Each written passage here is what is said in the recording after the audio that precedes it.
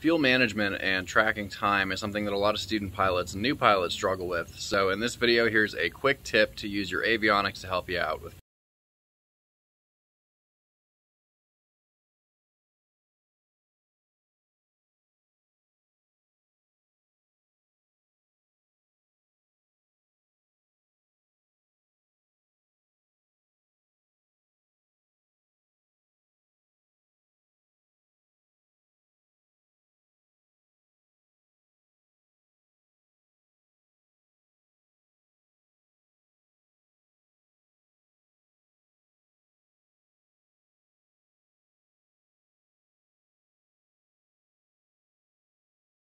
All right, gang, let's talk flight instruments. First, we're gonna go ahead and make sure that we get our avionics set up.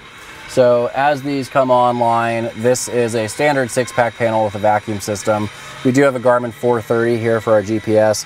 Here we've got a Garmin COM unit, and then on the bottom, we've got our Garmin GTX 330 uh, transponder. So this is something that I want to show people. Once we start the aircraft like we just did, it's very, very important on this uh, transponder you can use it or pull out your cell phone and look at the time.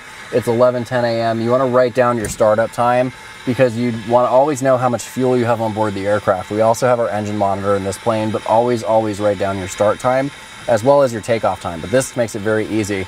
On your checklist for startup, you'll note that we're on standby mode and we are VFR. If you push that and you're on VFR, it will revert to your previous squawk code. So make sure that you're on VFR. You can also just type in 1200. Um, so that is on standby mode. The Garmin uh, transponder is turned on. Now, function here is really, really convenient. If you have this in a Skyhawk or something that does not require fuel changes, you go to function and you can go to count up and then you just push start and that'll start counting up your flight time. Now, this airplane, we have a 30 minute countdown timer. So you function through, this is basically where, where you um, started. So you hit function until you cycle through and get to count down to 30 minutes and then push start. And this will automatically start that 30 minute countdown timer for fuel management for you.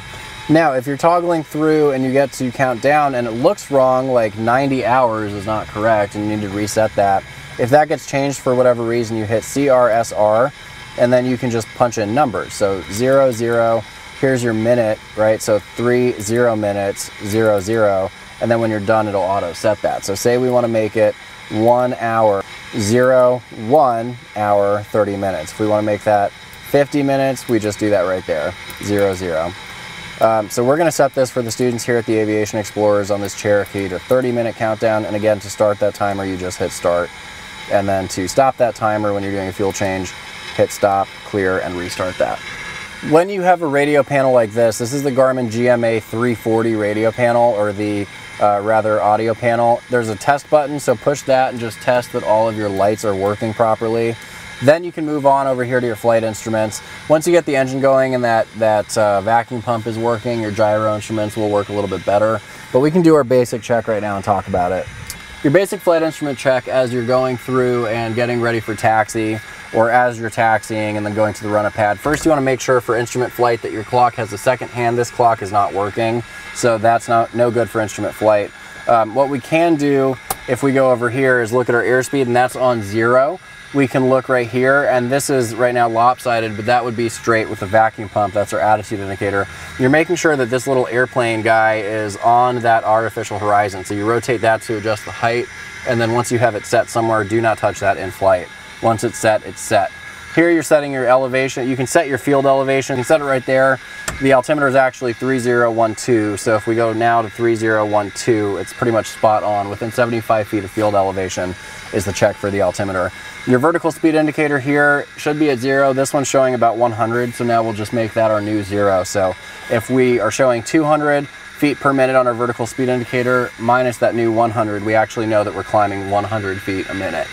Over here, we're making sure that this matches our compass, and it does for the most part with a slight correction. On that note, we're checking our compass. We're making sure that there's no bubbles, no cracks, and it's free floating. That is the call there.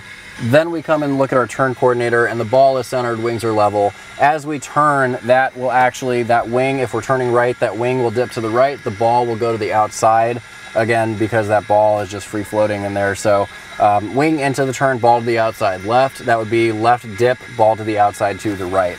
And that is our flight instrument check.